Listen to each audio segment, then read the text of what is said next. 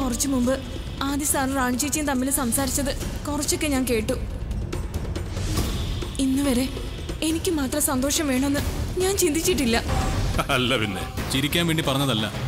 ഈ ഔട്ടിങ്ങിന് പോകാൻ ഞാൻ അനുവദിക്കില്ല. അതിന് നിന്റെ അനുവാദം ഇവിടെ ആർക്കാ വേണ്ടേ? ഏ? ഈ കാര്യത്തിൽ എന്റെ അനുവാദം വേണ്ടി വരും.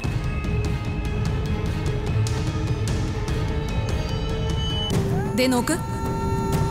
ആദ്യേട്ടന്റെ ഭാര്യ ആവില്ലാന്ന് നീ തീരുമാനിച്ചാലും ഞാൻ നിന്നെ ആദ്യേട്ടന്റെ ഭാര്യ ആക്കും കാരണം നിന്റെയും ആദ്യേട്ടന്റെയും ലക്ഷണമൊത്ത ജാതകമാണെന്ന് റാണി നിന്നോട് പറഞ്ഞത് ഞാൻ കേട്ടു.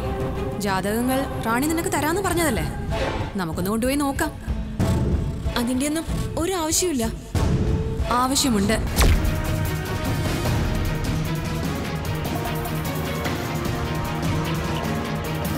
നീരക്കുയിൽ ഇന്ന് രാത്രി ഏഴ് മുപ്പതിന് ഏഷ്യാനെറ്റിലും പിന്നെ എപ്പോഴും ഹോട്ട്സ്റ്റാറിലും.